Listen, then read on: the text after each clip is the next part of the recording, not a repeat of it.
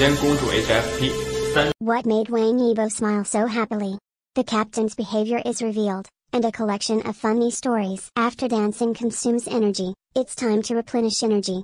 Hot Pot Bureau reappears. Wang Yibo, who arrived first, played football for himself. The captains are in place one after another, you can team up to play games tilde. Wang Yibo played a game with Brother Gang, completely focused. What do the captains think of the blind box this year? In fact, Wang Yibo has already answered this question in the feature film. I think this method is fair. Divide a group of similar strengths and styles into different streets. What is the problem that caused the captains to lose their memories collectively? Damn it, it's all encrypted.